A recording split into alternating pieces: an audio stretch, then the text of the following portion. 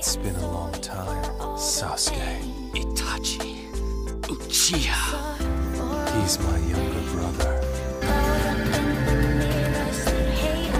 It's just as you said, brother. I've lived my life for one single purpose.